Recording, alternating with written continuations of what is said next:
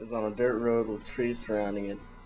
I'm uh, walking with my friends, and then uh, all of a sudden I'm just running, and we're all afraid, but we don't know what.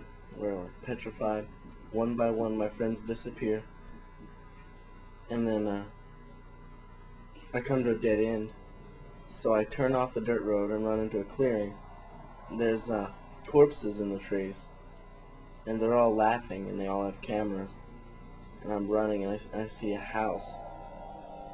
And I get inside the house. And this dead woman comes after me but I know it's my brother. And so I run downstairs trying to get away from her. And uh, she follows me down with a shotgun. And I grab a sword and I chop off its head. And then I wake up it's really a dream. I didn't focus on detail because I couldn't really concentrate. All I was doing was running. It was all blur to me anyway. And nothing stood out other than the people's laugh, but I can't really draw laughs. It's kind of hard.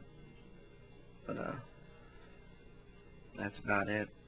It's all black and white just because it's as simple as the dream was.